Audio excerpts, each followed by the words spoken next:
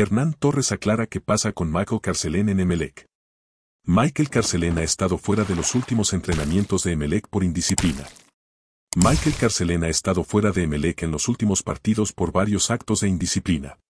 El futbolista no entrena con el primer equipo desde hace dos semanas y Hernán Torres se refirió a su futuro. El volante ecuatoriano apenas había fichado por el Bombillo en julio de 2023.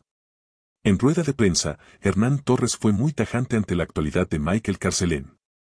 Al DT le preguntaron por el ex Barcelona SC y también por Melor Bolaños, pero a diferencia del caso del Killer, con el primero ya se está hablando con la directiva, Carcelén también está con ese tema, está con la junta directiva mirando su situación, afirmó el DT. Dale me gusta a este video ahora mismo, porque es muy importante para que no te pierdas las últimas novedades de los eléctricos que publicamos aquí, gracias por tu apoyo. Michael Carcelén apenas había llegado a Emelec en julio de este 2023 a préstamo de Aucas.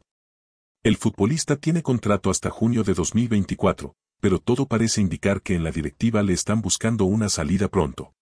El futbolista ha cometido varios actos de indisciplina y ya el cuerpo técnico no parece contar con él. Desde que jugó contra Independiente del Valle el pasado 30 de septiembre, Michael Carcelén no volvió ni al banco de suplentes con Emelec por un acto de indisciplina. La situación parece definida para el cuerpo técnico que incluso el volante ya ni entrena con el primer equipo. En su corto paso por Emelec a Michael Carcelén se le han reportado actos de indisciplina como llegar tarde a los entrenamientos o también fiestas hasta altas horas viralizadas en redes sociales.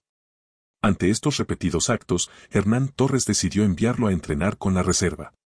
Si te ha gustado este video, suscríbete, dale me gusta, comenta y comparte. No olvides activar la campana de notificaciones. Gracias y nos vemos en el próximo video.